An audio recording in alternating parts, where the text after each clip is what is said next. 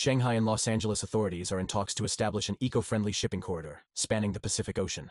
This innovative route will leverage green fuels, ship electrification, and smart port technologies. Notably, it's a bustling route, with nine weekly container ship services carrying over 1.3 million standard containers last year.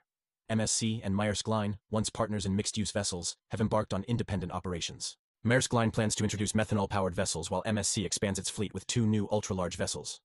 The Port of Long Beach, U.S., shattered its peak record with a nearly 12% cargo volume increase in September, compared to the previous year. This surge is attributed to robust holiday season demand, signaling a rebound in consumer purchasing power.